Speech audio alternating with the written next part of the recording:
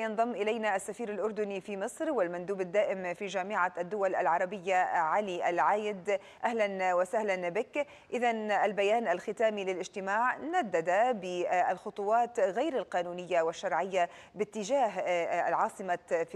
العاصمة عاصمة فلسطين القدس والسؤال هنا ما هي سبل مواجهة مثل هذه القرارات؟ مساء النور اولا وأعتقد أن هناك حاجة ملحة لتحرك بشكل جماعي عربي. اليوم عقدت جلسة غير عادية بناء على طلب فلسطين وبدعم من المملكة الأردنية الهاشمية. وهذه على أثر القرار التي اتخذته البرازيل بنقل أو بفتح مكتب تجاري في القدس. ونحن نرفض أي صوره من صور التمثيل الدبلوماسي في القدس.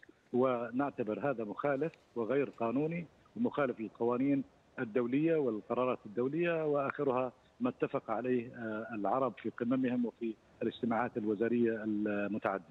نعم. يعني في الحقيقة الأردن دائما وبقيادة جلالة الملك يعني يحشد باتجاه قضية الفلسطينية. وهنا يعني السؤال عن الخيارات التي يملكها الأردن هذه الأيام. نحن كما تعلمين منذ اتخاذ الرئيس الأمريكي قرارا بنقل السفارة إلى الأمريكية إلى إلى القدس قامت جهود كبيرة من مولانا جلالة الملك عبد الله الثاني وكانت هناك حراكا دبلوماسيا كبيرا من قبل الدبلوماسية بقيادة جلالة الملك. ونحن قمنا بالتواصل مع الكثير من عواصم صنع القرار في العالم وكان هناك لل كان هناك تأييد للموقف العربي الرافض إلى نقل هذه السفارة إلى القدس وكان هناك إجماع شبه دولي ولم يكن إلا هناك بعض الدول التي قامت بهذا بهذا الشيء.